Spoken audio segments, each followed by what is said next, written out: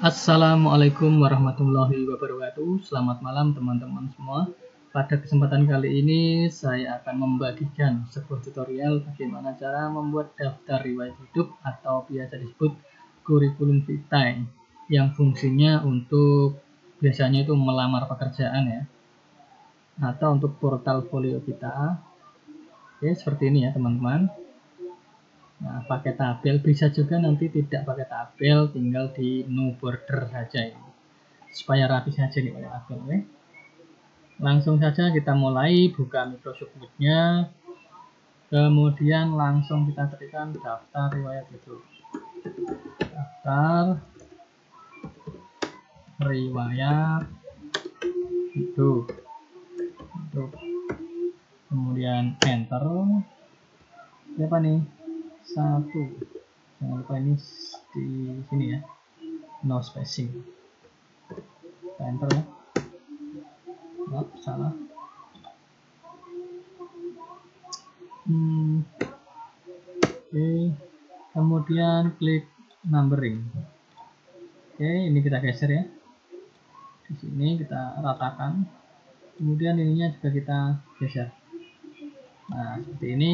Ada apa nih data pribadi. Data pribadi. Dengan enter hapus enter. Kita masukkan tabel. Ini ya tabel ini. Insert tabel. Ada empat tabel tadi ya. Oke seperti ini. Kemudian kita klik home lagi. Kemudian kita klik numbering lagi. Pilih yang ini. Nah kemudian di sini ada nama. Nama. Kemudian titik dua.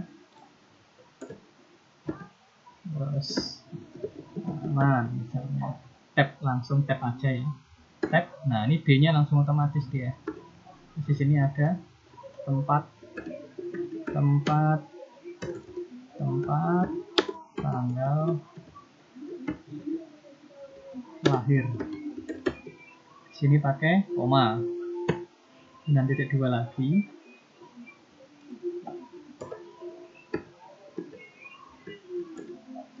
Dura 3 Februari aja.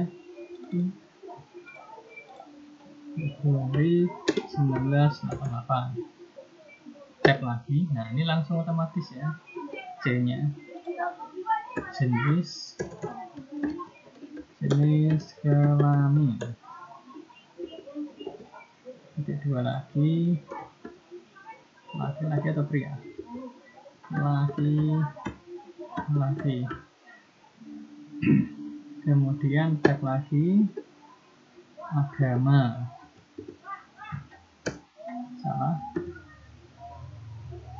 agama. Untuk tabel nanti kita rapikan terakhir saja ya. Mungkin kita ketik dulu aja. Islam. Islam. Status perkawinan status saja ya. Status. Status. Menikah. Kemudian F nya alamat rumah alamat rumah jalan. Nah ini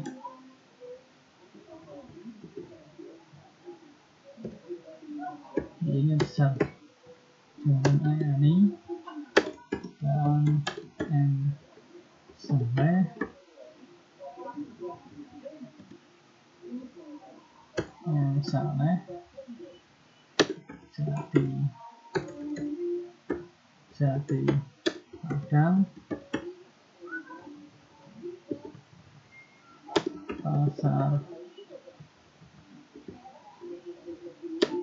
Minggu Jakarta Selatan. Masnya besar ya kita rapikan aja apa jalan nomor satu A ya nomor. Nomor satu A. Nah seperti ini. Terus apa lagi nih? Nomor telepon kita tap lagi sini tag nomor. Nomor. Telepon. Dua delapan lima tujuh delapan satu empat delapan nol tiga sembilan enam. Delapan lima tujuh. Kemudian email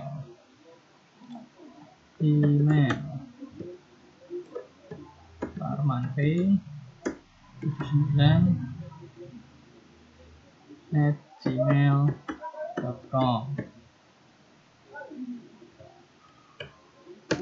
nah, ini. Kemudian kita tag lagi. Nomor KTP saya nggak perlu ya. Udah ini aja. Kemudian gimana cara merapikan tabel untuk lebar dan posisinya ini?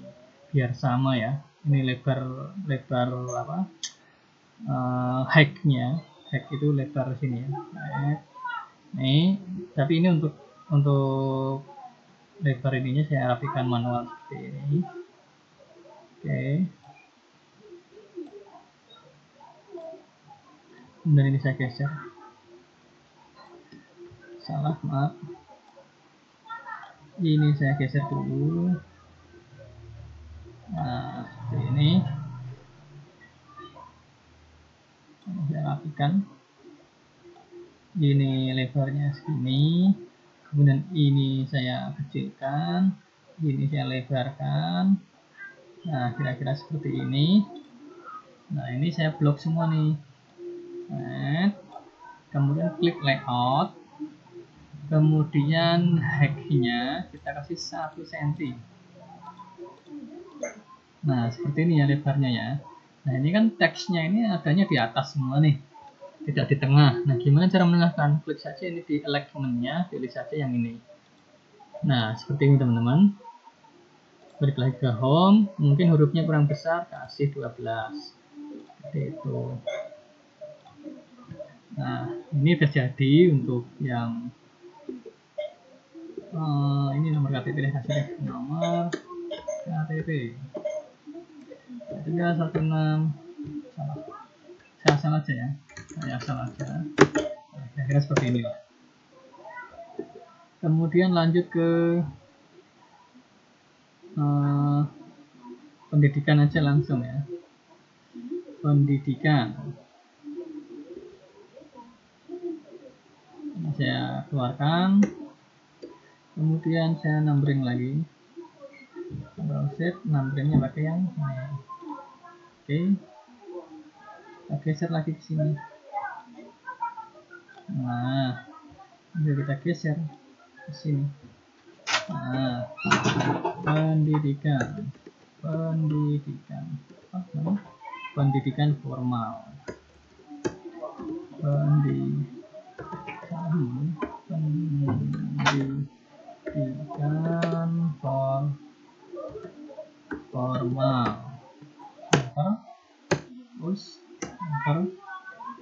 buat lagi tabelnya. Insert empat lagi ya. Nah seperti ini. Di sini ada pendidikan. Judulnya sini. Pendidikan pendidikan. Di sini ada jurusan. Di sini ada nama sekolah. Sekolah ya sekolah atau universitas keterangan keterangan Oke, sini misalnya sekolah dasar. Sekolah dasar. Terus di SDN mana misalnya? SDN titik-titik-titik. Jangan lulus. Lulus. Tab lagi S LTP tulisan nggak ada ini SLTP titik titik titik titik lulus lulus. Kemudian SLTA jurusan jauhnya nggak ada. SLTA titik-titik lulus. Kemudian satu jurusan teknik teknik informatika. Namanya STEMIC lulus nah seperti ini ya. Kemudian ini saya geser untuk merapikannya. Nah seperti ini. Ini saya bold ya ini saya bold tapi ini saya lebarkan dulu ya. Ini lebar. Ini saya bold caranya gimana? Klik home bold kemudian layoutnya text alignmentnya saya tengahkan. Nah seperti ini ya. Kemudian home lagi sini kasih 12 terus ini lagi. Ininya kolomnya saya lebarkan ya semuanya. Layout layout 1 cm nah kira-kira segini kemudian seperti biasa kita tengahkan lagi. Oke seperti ini. Kemudian saya akan memasukkan foto ya. Foto saya ada fotonya saya drag saja dari dari sini. Atau dari picture? Ada picture. Nah ini saya masukkan misalnya foto ini ya saya drag drag geser ke sini masukkan ke sini. Nah masuk tidak? Nah ini dia fotonya. Kita layoutnya. Hmm, mana nih? Kalau nggak ada layoutnya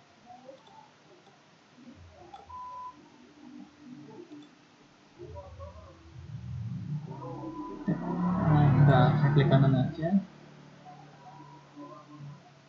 Hmm, nah ini web tagnya. In front text atau info text saja.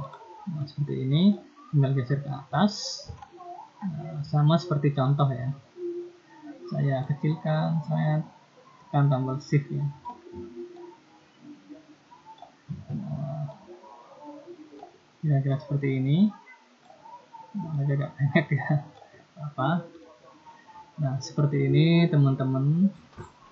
Terus di sini harusnya ada tanda tangan ya. Hmm, kita buat ini dulu. Buat pembatas tabnya ya. Sama. Oke di sini ya. Tab nah seperti ini. Uh, di sini ada untuk selanjutnya teman-teman bisa ketik sendiri nanti. Contohnya seperti ini Jakarta. Jakarta. Jakarta 17 April. April 2020 enter enter enter tab kalau enggak control Z kebanyakan ya. Lagi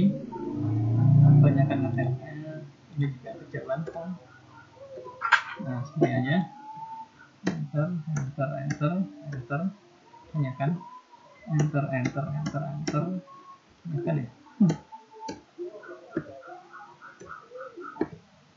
Misalnya di sini nama saya Arman nah ini kurang ke atas ya. Biar muat. Nah seperti ini ini untuk tanda tangannya ya. Nah saya rasa seperti ini untuk membuat daftar riwayat hidup. Tinggal ini kalau mau nggak pakai kalau nggak mau pakai kotak bisa diblok semua. Ya kemudian layout hmm, atau klik kanan. Ya klik kanan. Border mana border style. Nah saya kok nggak nah ini dia nih salah. No border nah seperti ini. Nanti ketika di print ini nggak akan muncul. Kita coba print ya. Print. Nah ini nggak nggak ada nggak ada bordirnya ini. Ini 100% oh ya kan? Kalau nggak mau pakai tabel. Tapi kalau mau pakai tabel ya